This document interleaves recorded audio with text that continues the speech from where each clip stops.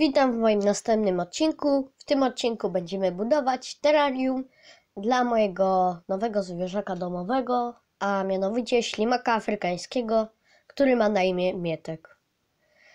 E, o Mietku już mówiłem w szorcie, którego dałem całkiem niedawno przed tym wideo, a więc e, po prostu przejdźmy do dalszej części. Najpierw zaczniemy sobie poprzez dodanie ziemi, w której ślimaki bardzo lubią się zagrzebywać. E, Terrarium ma wymiary 40 na 20 na 30, więc e, tej ziemi musiałem całkiem dużo nakupić. A teraz sobie przejdźmy już do wystroju. Tu mam kłodę i mam inny patyk i właśnie tutaj się pojawiły w terrarium magiczne przejście. E, Potem zmieniłem jednak e, pozycję kłody, bo mi po prostu się nie podobała.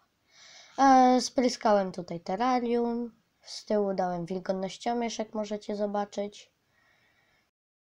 Teraz sobie przejdźmy do kolejnej części, mojej ulubionej, czyli dodawanie skoczogonków do terrarium.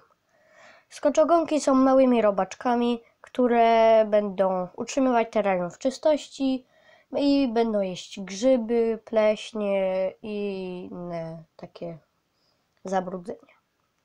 E, Jednak e, i tak kilka dni po oddaniu skoczogonków pojawiła się pleśń, ale wtedy trzeba ją zdrapać i po prostu jej nie będzie.